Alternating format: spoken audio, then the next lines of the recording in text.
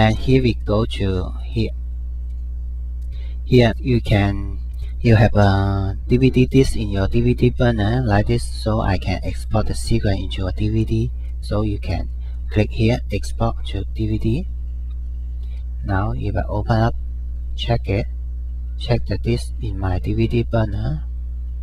And here they open the burn DVD maybe you're familiar with here so I just very quickly to show you here you can export into a burner disk or you can export into a into your hard disk.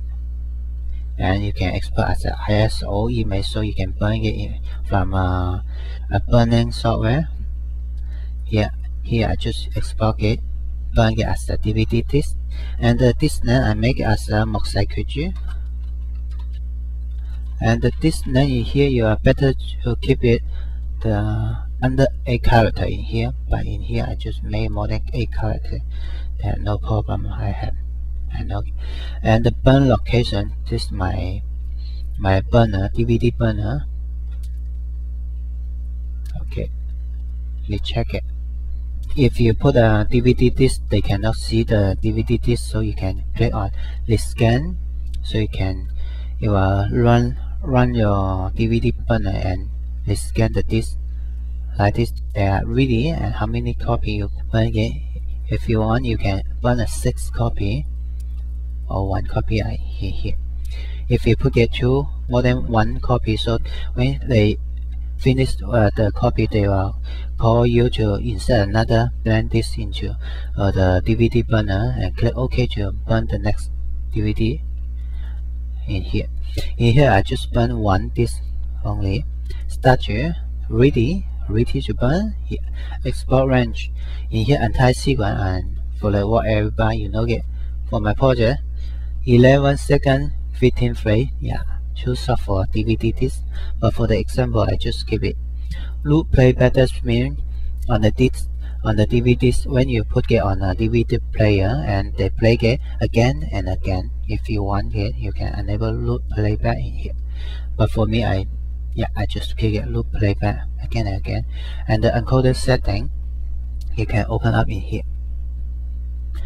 Here the encoding setting I will show you more about the setting from here later using the Adobe encoder. But for the example in here I just very quickly select the preset from here. Right here NTSC DV 4x3 the high quality 7 megabit uh, constant bitrate one pass okay audio video like this so I use the default no problem. Because very soft I don't need to calibrate to keep the higher quality possible like this. And click burn to burn the disk now let's see.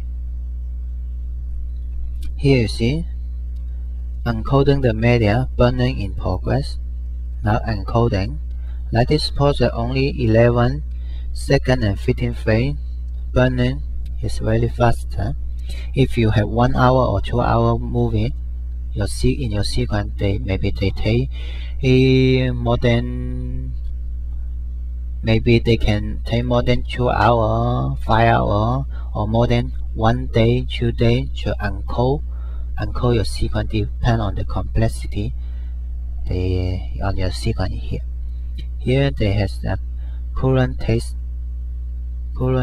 burning in progress. Okay they have encoding finished the encoding and now they're burning burning the sequence into a DVD disc. How about that?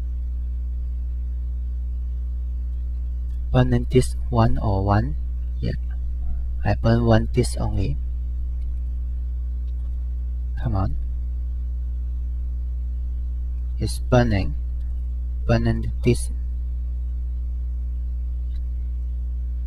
um yeah of course if you want to cancel of course you can cancel it.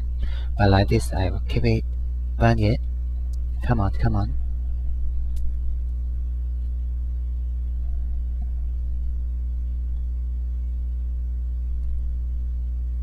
Yeah here. Cook, cook, cook, cook, cook.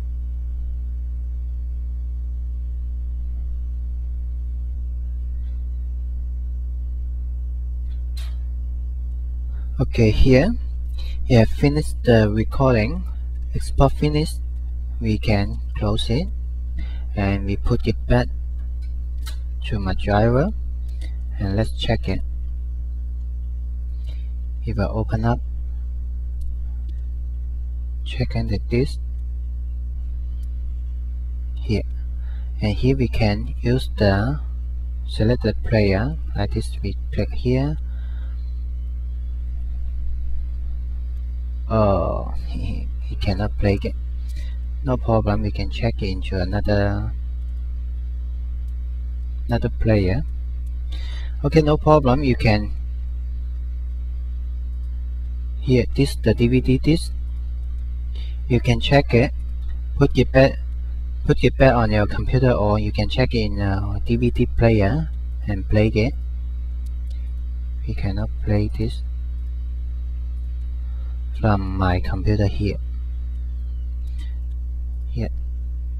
How about we check in here right click in. Uh, okay. Okay you can check it put it in your DVD player and check it how about the video.